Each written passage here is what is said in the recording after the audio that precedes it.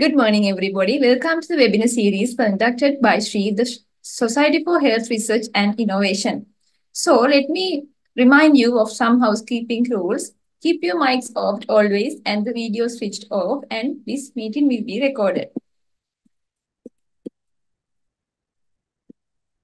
So our topic today is exploring non-alcoholic fatty liver disease. So the webinar link will be available from 9.15 a.m. to 9.45 a.m. to join in and no late attendees will be entertained thereafter. Each attendee should have been attended till the end of the webinar to obtain the certificate for CPD points and the CPD points are strictly adhered to the NCCPD guidelines. This is to improve and maintain the standards of the CPD conducted by SHRI. So thank you for strict adherence of CPD regulations and your kind compliance. So regarding asking questions, you can question time is at the end of the webinar. And if you have a question, please type into, into the chat box. And please change your chat settings to all panelists and attendees so your questions can be answered. And if you have a very specific question about our topic, or please email us on this email.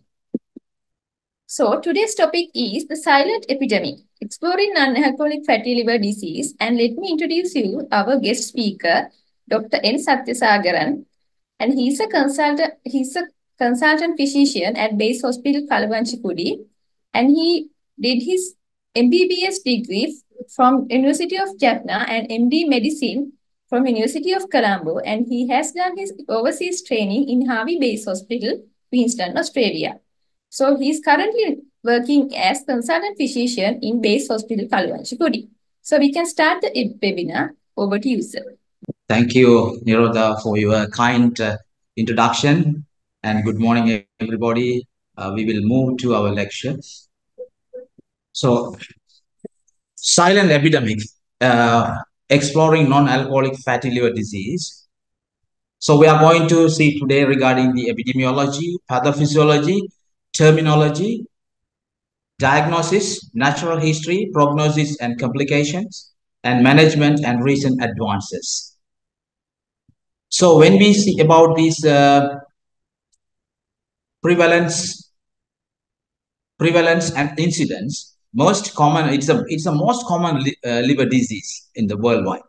And it's the most common reason for unexpectedly elevated liver enzymes. And uh, the global prevalence is close to 25%. And the Asian prevalence is 52.3 uh, per 100% per year. And uh, our urban Sri Lanka, it's 33% of the people are affected. So when you see about the worldwide prevalence, the United States, South America, and Australia are mostly affected. Uh, our is affected less compared to um, more compared to the European countries, and it's uh, being an epidemic now. so, what is non-alcoholic fatty liver disease? It's an excess fat accumulation in liver. It should be more than five percent steatosis, assessed histologically or by imaging. There's no significant, there should be no significant alcohol consumption. That's men less than 30 gram per day and women for uh, less than 20 gram per day. And there should be lack of secondary causes of fat accumulation in liver and like medications like Wilson disease. Uh, and, and, also there should be uh, absence of coexisting causes of chronic liver disease.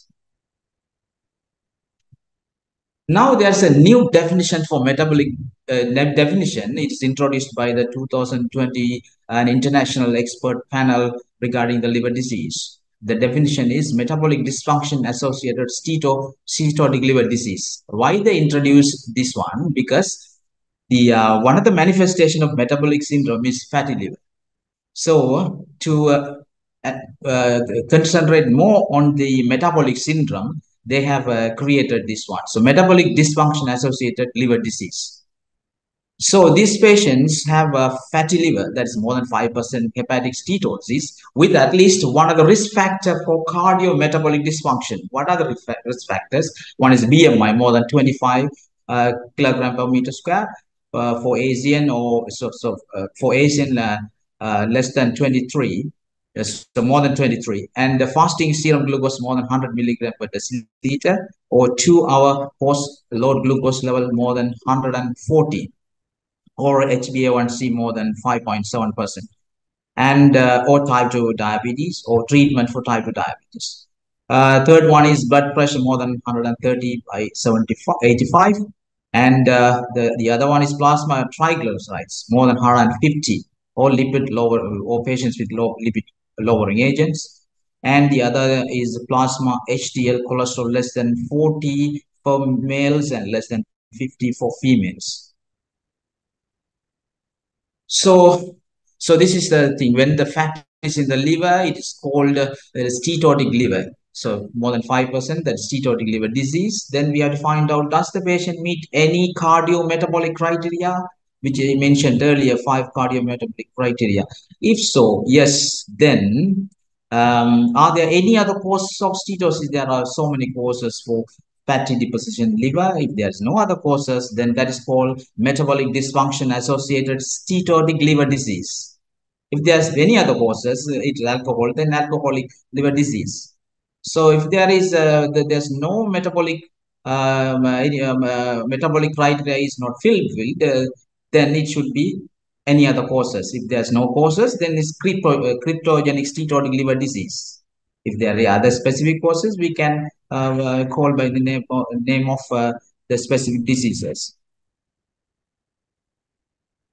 So we should know there are many causes for secondary uh, uh, fat deposition. There are microvesicular histologically as well as macrovesicular. So macrovesicular, excessive alcohol, hepatitis C virus infection, Wilson disease, A-beta lipoproteinemia, parenteral nutrition, starvation, lipodystrophy, and a lot of medications that can cause uh, fat deposition like met methotrexate, tamoxifen, amiodarone, corticosteroids. So when we take the history, we have to uh, analyze all these things. And microvesicular uh, like HELLP syndrome, acute liver of pregnancy, rare syndrome, inborn errors of metabolism, everything can cause fat accumulation. So when we move towards the pathophysiology of the fatty liver or metabolic dysfunction associated steatosis, it is very multifactorial. Many uh, factors influencing the uh, fat deposition in liver. Most, mostly these insulin resistance plays a key role. And nowadays, uh, there's a gut microbiota that's, uh, that has been studied extensively in animal studies. The changes in uh, normal microbiota in the intestine causes triggers fatty liver progression to the NASH. Uh, when they take out about the gut microbiota, there are some organisms. The people with fatty liver, they they, uh, they they found out there are we know that there are a lot of microorganisms in the gut. So some uh, organism are less compared to the uh, uh, normal normal person without fatty liver. So other thing is peptides and leptins, and there are a lot of environment factors. Uh, they are uh, studying about the sleep, uh, sleep apnea, smoking, everything. There nowadays they are uh, doing research on this fatty liver. And other thing is very important thing is genetic factors genetic modifiers like PNPLA3 is one of the most important genetic factor which uh, triggers the fatty liver. The other thing is excess liver lipids can also cause uh, fatty liver deposition if they interact with each other. And I can say that this is the uh, there's a we can say there's a first hit. First hit means uh, disposition of uh, fats in the liver. That's my, by so many reasons like uh, main uh, thing is insulin resistant lifestyle uh, said lifestyle type diabetes obesity everything causes increase uh, uh, fat deposition in the liver. And second thing hit is molecular cellular molecular issues. That's the hepatic damage inflammation and fibrosis necrosis are triggered by the second hit that is a, uh, a lot of uh, factors associated with that genetic factors and mitochondrial dysfunction and uh, fat oxidation, everything causes um, triggering towards uh, NASH and cirrhosis.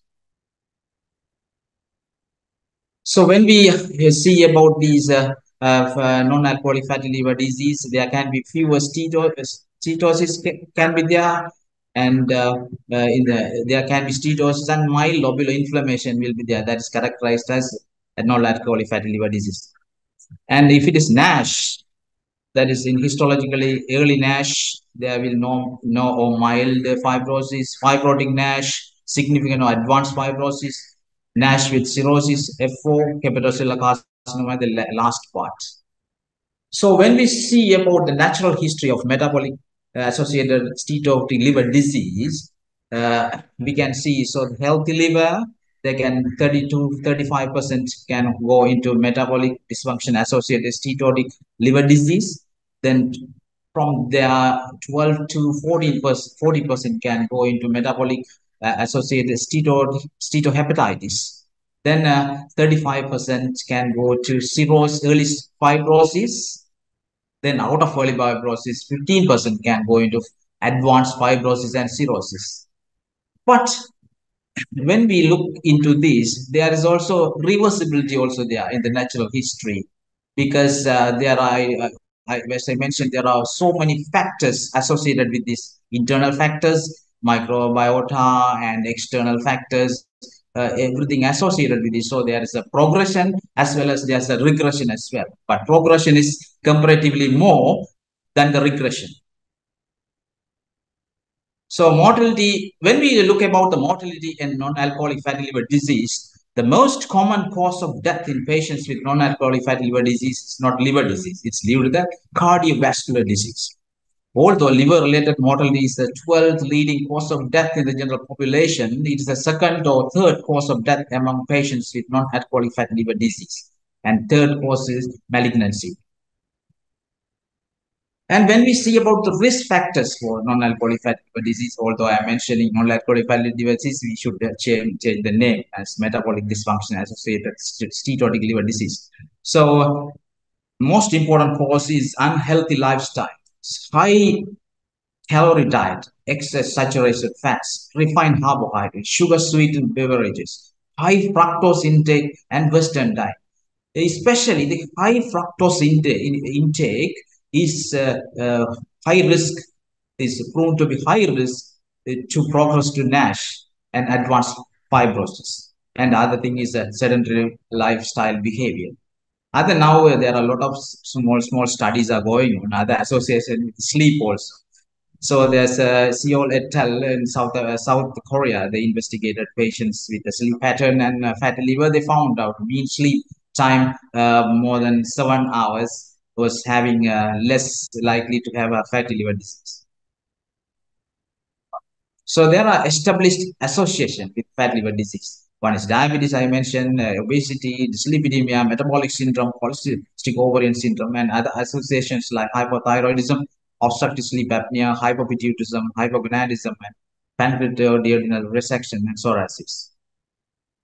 And the other entity, which is uh, which is difficult one, that is lean non-alcoholic fatty liver disease, lean, lean. So more frequently observed in Asian population. So their BMI is less than 23% in Asian and non-Asian 25. In Sri Lankan cohort, there are 16 patients was non-obese. The prevalence of NASH and fibrosis is similar to the obese non-alcoholic fat, fatty liver patients. Pathogenesis is unclear, however, thought to be due to insulin resistance and uh, genetic factors. The visceral fat also, although they seems to be, uh, the BMI is not a good indicator to uh, um, assume a patient is uh, you know without uh, um, fat fat deposition.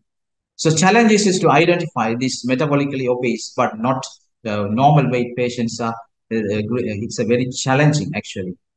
And this is the diagnosis of fatty liver by ultrasound. We can see uh, uh, the sensitivity is around 85%, but it's reduced on obese patients and specificity around 94. Uh, it can detect cystosis, steatosis, steatosis when more than 30% of the liver is affected. So the diagnosis of not a NASH, the clinical biochemical imaging measures cannot distinguish NASH from steatosis. Only we can say that patient is having steatosis. So to find out whether the patient is having uh, steatohepatitis, that can be only done by the liver biopsy. That's the gold standard method. So in the histology, when you take the biopsy and histology, you can see the steatosis. And second thing is hepatocyte ballooning when the NASH occurs. And mixed cellular infiltration will be there. And fibrotic NASH, there's a sinusoidal fibrosis there in the fibrotic NASH. So features, uh, non-alcoholic fatty liver disease and NASH, steatosis present in both uh, both cases, and hepatocellular injury is absent in a uh, normal fatty liver disease, non-alcoholic fatty liver disease, but NASH is present. Inflammation is absent here, but the inflammation is present in NASH, and fibrosis absent in non-alcoholic fatty liver disease, but uh, NASH absent or present. And prog progress to cirrhosis and liver failure minimal, but in the NASH is present. Hepatocellular carcinoma absent in the NASH is present. Oral mortality is high in both cases.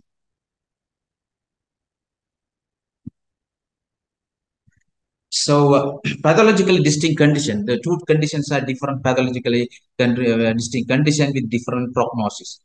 So non-alcoholic fatty liver disease has a good liver-related prognosis compared to the non-alcoholic steatohepatitis. NASH indicates an increased risk of fibrosis, progression, cirrhosis, and possibly hepatocellular cancer. So NASH need a closer follow-up and more intensive therapy. So fibrosis is the most common uh, prognostic factor when we uh, see about fibrosis. It's a fibrosis, the most important prognostic factor in non-alcoholic fatty liver disease, correlated with liver-related outcomes and mortality. The presence of advanced fibrosis warrant in-depth hepatological investigations, confirmatory liver biopsy, extensive therapies, and monitoring of fibrosis progression. So nowadays, we can say that the patient is having a, a liver uh, fat deposition by ultrasound scan or MRI is more sensitive, so we can say depositions there. But the progression of NASH, as I told, uh, we should uh, there should be a liver biopsy to confirm. But without that, there are non-invasive scores of fibrosis to find out the fibrosis. There are non-invasive scores. Computer-based applications are there. One is NFS scoring. You can type in it's an, it's an application. And the other one is FI, fibrosis 4 score, FIB4. So these two applications have different um, entities. One, uh, they included age in NFS, AST, ALT, platelet count, BMI, albumin, and impaired fasting glucose, so diabetes. But FIB4 score only have age, AST, ALT, and platelet count. So there are other non-invasive panels as well. Enhanced liver fibrosis panels are there, plasma level of free matrix proteins, and you, uh, yeah, that is useful in excluding advanced fibrosis.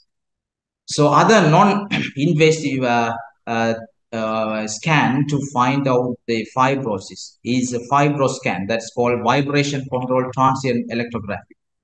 It's an ultrasound wave passed through the liver. Stiffer the liver, faster the waves that travel through the liver stiffness measured by estimating the shear waves in the kilopascal. It's a helpful tool to avoid the liver biopsy because we can get an idea about the fibrosis. It performs better for cirrhosis than for advanced fibrosis. Higher rate of false positive is then problem, affected by high BMI and or thoracic wall thickness. Helpful when trying to avoid liver biopsy, and the combination of elastography and serum markers might be more helpful.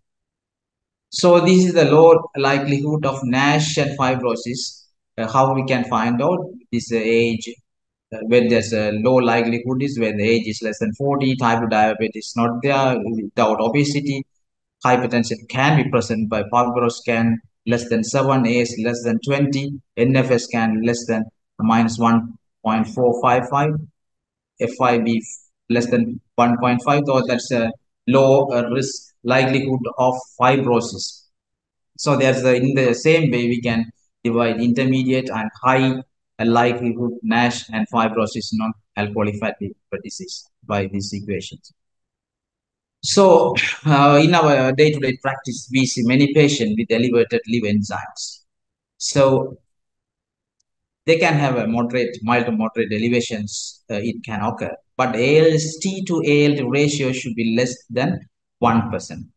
So when the AST ratio to ALT is more than 1, then there could be alcoholic part or we have to think about fibrosis. When the fibrosis occurs, uh, so the AST level goes up than the ALT. The other thing is ALP, alkaline phosphatase may rise up to three times of the normal. It is more than high, then we have to investigate for other etiology. And uh, other thing is prothrombin time, bilirubin, albumin, everything will be typically normal unless cirrhotic. And we have seen that uh, serum ferritin is slightly higher in non-alcoholic liver disease and advanced fibrosis. Uh, but when there's a iron depo more iron deposition, the HFE gene positive more iron deposition, then this when the these patients have uh, non-alcoholic fatty liver disease, the progression to cirrhosis is very uh, rapid. And they also found to be serum auto antibodies. There is some elevation of auto antibodies also can be found in uh, um, NASH, but uh, the clinical significance is uh, not very known. At the same time, we have to uh, exclude the hepatitis C, hepatitis B, B and autoimmune hepatitis. We have to IgG level. Uh, and depending on the clinical grounds, we can do other investigations as well. So I, as I have told, this only liver biopsy is the only tool to differentiate non-alcoholic fatty liver disease from NASH. But biopsy is very expensive and it requires expertise and carries some morbidity and rare mortality risk as well, done in only in selected patients. so which patient to biopsy? There's no consensus, no clear consensus, but uh, uh, Sri Lankan Endocrinology Journal suggested, so it's done by many hepatologists in Sri Lanka, they have suggested a liver biopsy may be considered in to exclude uh, competing uh, or coexisting eti etiologies for liver disease. Or second thing is advanced fibrosis, which is suggested by serum-based scores or imaging, or to establish the diagnosis of NASH in patients with poor response to therapy. In these scenarios, we can consider a liver biopsy.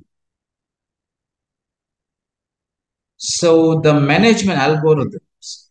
So non-alcoholic fatty liver disease, uh, when uh, we uh, diagnosed with ultrasound scan or other uh, screening. So what happens is we have to calculate the uh, FIB or NFS scoring. So NF, FIB scoring is less than, is uh, to find out if the patient is having fatty liver disease, then we have to find out whether the patient is having significant fibrosis. So, so for the significant fibrosis, what we can do is we, we can use these uh, uh, non uh, non-invasive applications as I as I mentioned earlier, FIB4 or NFS and applications we can use and we can calculate and score. So we can categorize low risk of advanced fibrosis, high risk of advanced fibrosis, or in between.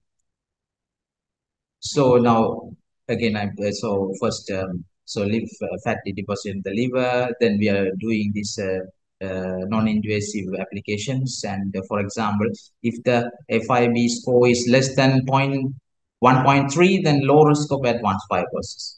If the FIB score, FIB4 score is more than 3.25, then high risk of advanced fibrosis. But what happened to the in between? In between, what we are doing is we are doing the fibroscan. In the fibroscan, if it is uh, less than 7.8 kilopascal, then it is low risk of advanced fibrosis.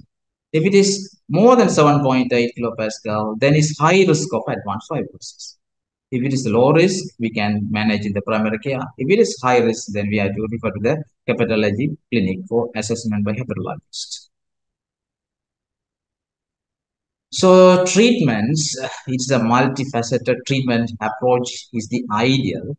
So goals of treatments are decrease NASH-related mortality, reduce progression to cirrhosis or hepatocellular cancer, control of metabolic abnormalities, treatment of comorbidities, and decrease cardiovascular risk. So uh, very important part is lifestyle modification. Then tar targeting components of metabolic syndrome and then we have to give liver, liver directed pharmacotherapy or then the last part is complications managing the complications of cirrhosis.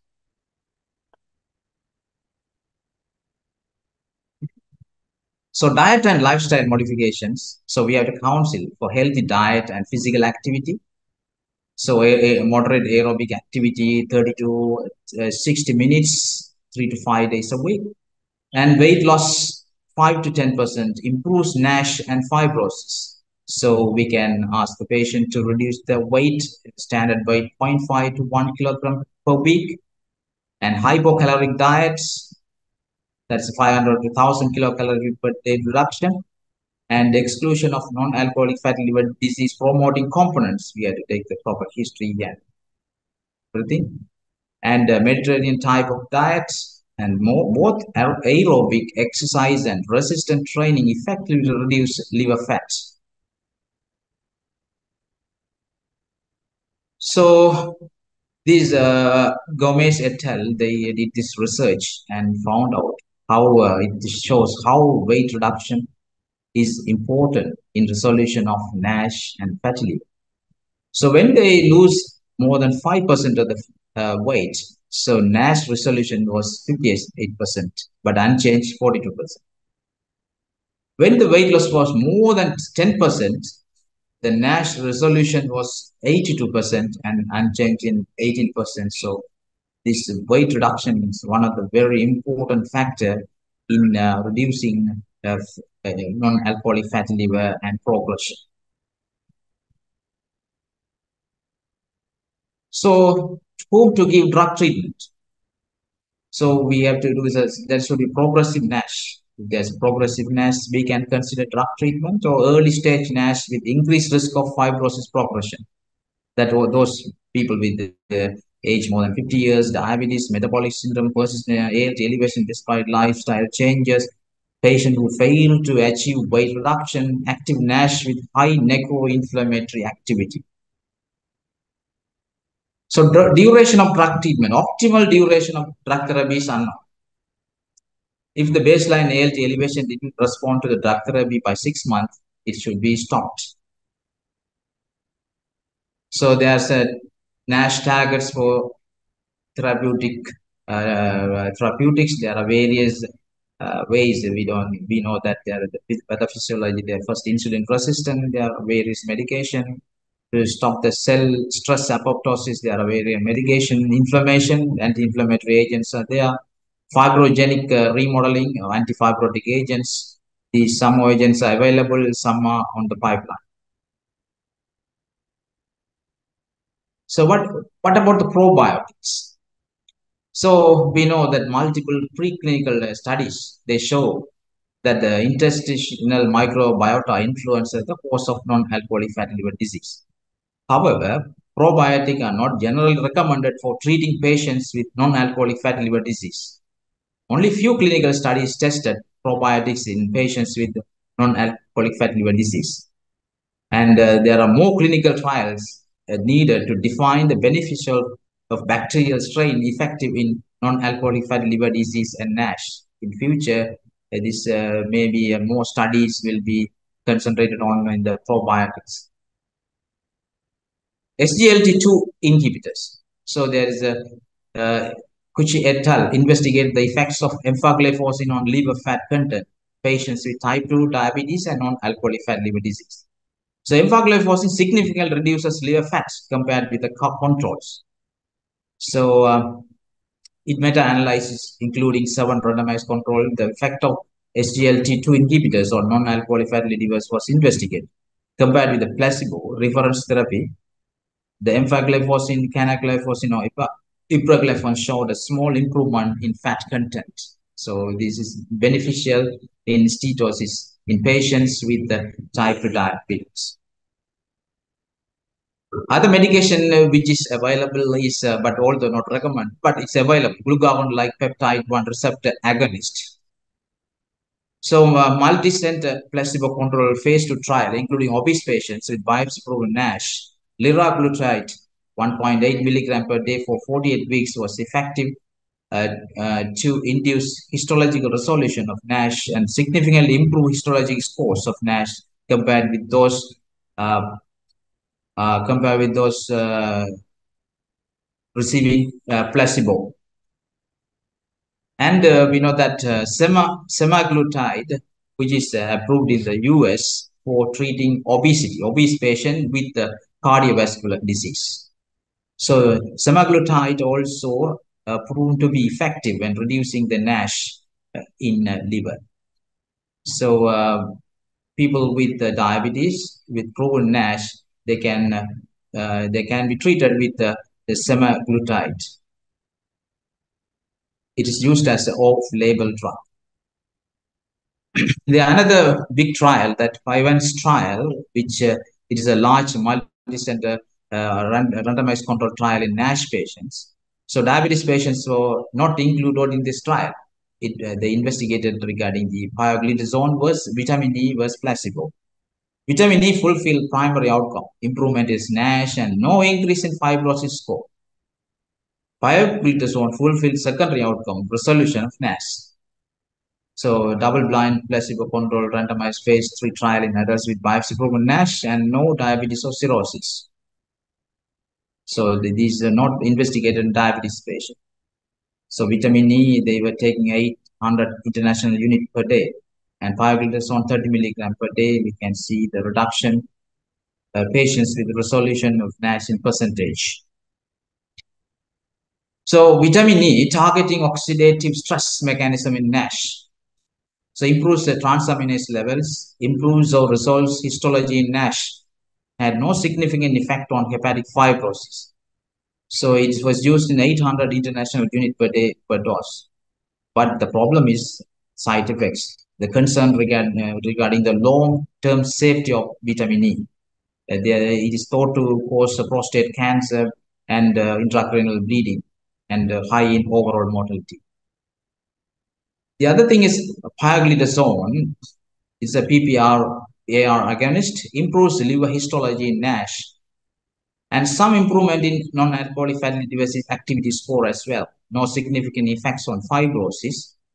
Tested in diabetic and non-diabetic patients. Previous one, vitamin E only in non-diabetic patients. It tested in diabetic and non-diabetic patients. Dose was 30 milligram per day given, and weight gain, bone loss, and bladder cancer are major concern. What about metformin? not recommended specifically for NASH. Does not improve liver histology, but improves insulin resistance. But it's safe to use for treatment of diabetes as a first-line agent in non-alcoholic liver disease patients. What about the statins? Cardiovascular disease and atherogenic dyslipidemia are common among non-alcoholic fatty liver disease patients. Statins Reduce, induce serious liver injury is rare in clinical practice, not used as a treatment for liver disease, but statins are safe to use in non-alcoholic fatty disease patients, shown to improve cardiovascular outcomes in non-alcoholic fatty liver disease. There are many newer medication that is uh, being investigated. Elafib uh, elafibranor, a dual PPAR agonist, improving NASH without fibrosis. Worsening, improved cardiometabolic profiles, well tolerated and no weight gain, was mild reversible increase in serum creatinine, diabetic and non-diabetic patients included. These are the drugs which is on the pipeline, pentoxifylline and uh, obeticholic acid. And there are many drug treatments being investigated so what about the bariatric surgery? So dual, so durable weight loss is achieved and improved survival. So uh, the um, bariatric surgery has cleared NASH in 85% of the patients and improved fibrosis in 34 patients, 34% of the patients. An option in patients unresponsive to lifestyle changes and pharmacology when otherwise indicated. It's an option. But the problem is there can be a peri and post-operative complications. It's the problem. So, so far there was uh, no medication approved for um, fatty liver by any uh, any bodies, but the only the, the very recently uh, approved in America FDA approval they have given it's accelerated accelerated approval uh, the medication called uh, resmetirom resmetirom. That is a that's a kind of thyroid hormone receptor beta selective agonist, which has shown to effective in treating NASH as well as uh, reversing the fibrosis.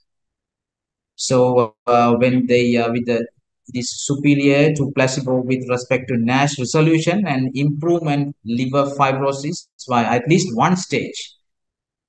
So because of this uh, beneficial effects, the FDA has approved to use this medication from this year for patient who has uh, NASH with liver fibrosis. So this is the only medication approved by the uh, uh, so far approved for um, NASH, uh, non-alcoholic fatty liver patients.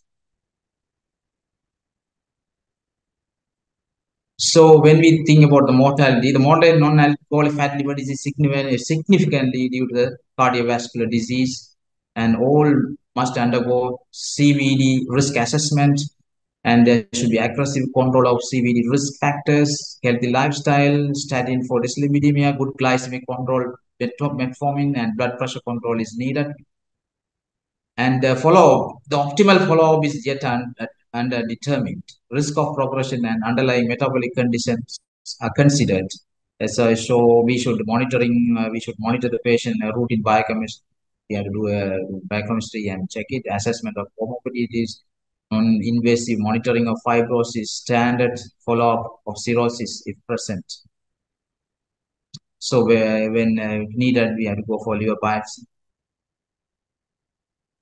So in summary, the prevalence of uh, non-alcoholic fatty liver disease is increasing worldwide. Non-alcoholic fatty liver consists spectrum of diseases. Prognosis depends on the stage of the disease. Pathophysiology very, very complex. Associated metabolic syndrome, lifestyle modifications are the mainstay of the management. And vitamin E and pioglitazone are used in the treatment. There is no promise. Uh, yeah, there on. Yeah. Thank you.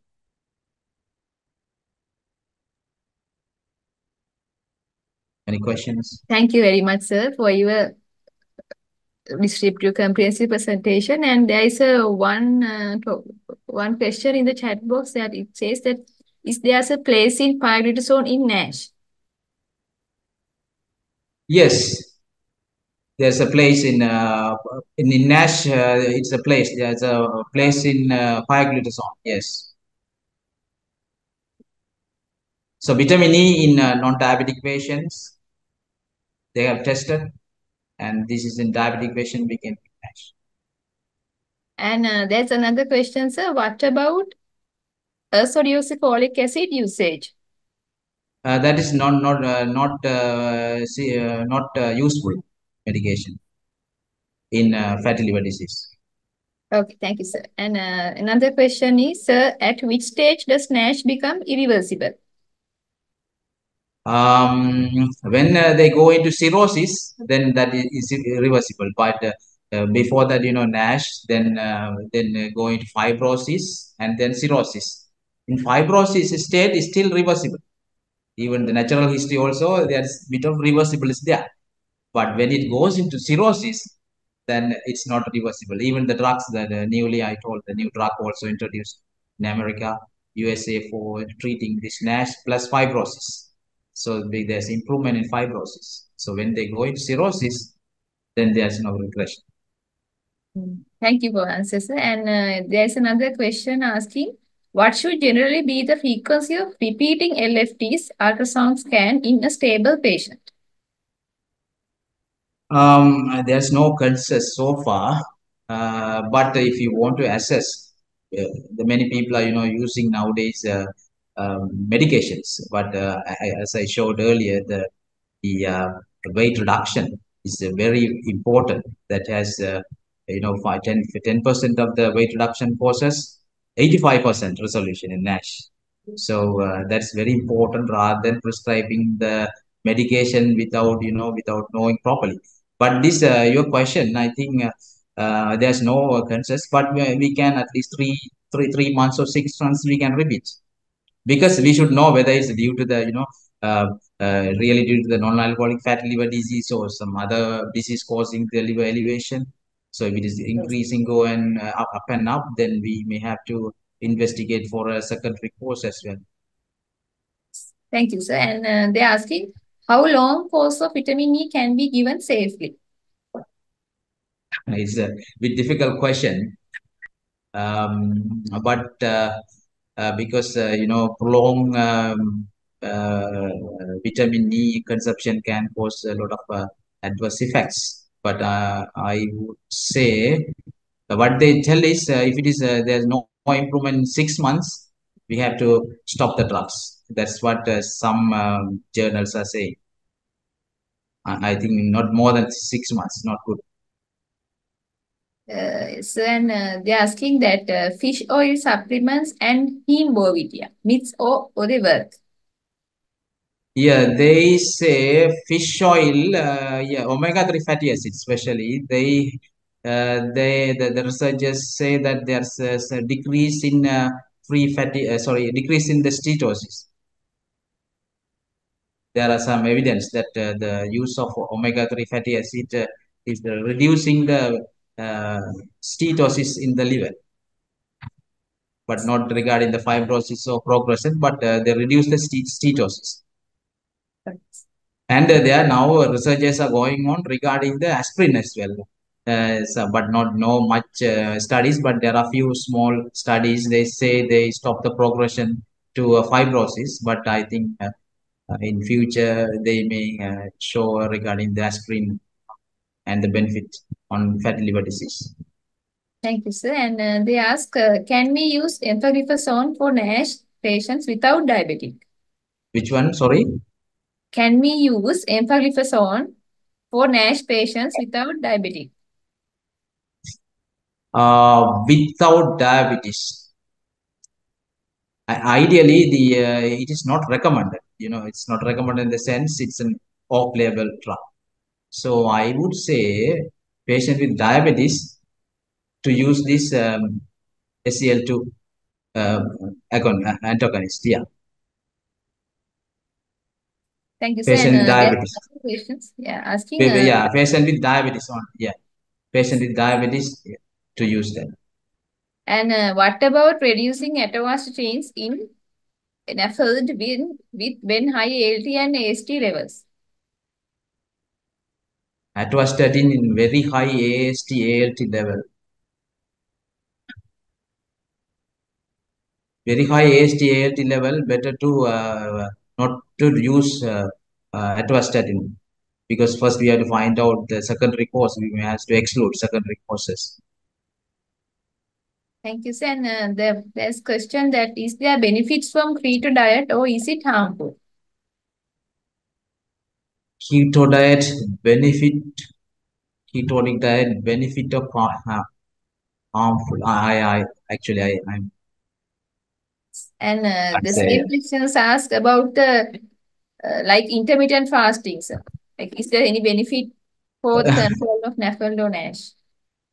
uh, intermittent fasting, uh, yeah, they say some some uh, people say that intermittent uh, can improve the you know uh, uh, Uh, uh, the uh, insulin resistance and all.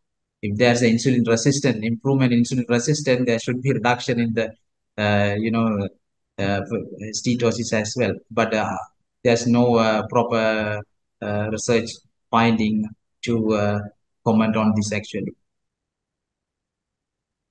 Uh, thank you very much, sir. And uh, the other questions repeat like the same things. And uh, there's something asking how to manage dyslipidemia and fatty liver when prescribed statins, ALT, AST level rise. So this what is the best statin? Whether simvastatin is the best statin to use? Um, simvastatin is a better one, uh, that uh, better outcome than uh, atorvastatin yeah, simvastatin is a better one. And they are asking, sir, management of patient with fatty liver and hypothyroidism. Fatty liver and uh, hypothyroidism. So thyroid diseases are associated with the fatty liver. So when we uh, treat the fat, uh, thyroid problem, so the fatty liver should be resolving, isn't it? And uh, thank you. And they asked for a recommendation that for a diabetic patient without a heart failure, is it better to use empagliflozin or pioglitazone as treatment for NAFLD? I would say empagliflozin is better. So for one last question, sir, sir, what is the relationship between fatty grading and NASH? Fatty Fatty grading. grading. Fatty liver grading. Uh, fatty liver grading and NASH is actually a histological, isn't it? So we can uh, the, they uh, imaging they say only the uh, fat content by grading uh, fat liver one, two, three, four, but uh, the, the NASH is different. So uh, NASH is a histological finding, so we can't comment on this. Uh, thank you very much, sir. So that concluded the, the question and answer session. And uh, so our sincere thanks goes to Dr. N. Sathyasagaran, the consultant physician based hospital, Kaluwanchikudy. Thank you very much for the uh, uh, for, uh, thank you, sir, for the, his excellent presentation and the precious time for your precious time. And for the you. for the others, we need like uh, we need to fill the feedback form and also the Google form. We share the link in the chat box so that you can the e get the e-certificate. So thank you very much, everyone, and find the link in the chat box. So kindly give your feedback to us, answer the post-assessment questions, so and we will uh, send you the e-certificate. So you will receive your e-certificate for participation in like uh, three days, and if you didn't get it, you can email us. So thank you very much and have a nice day.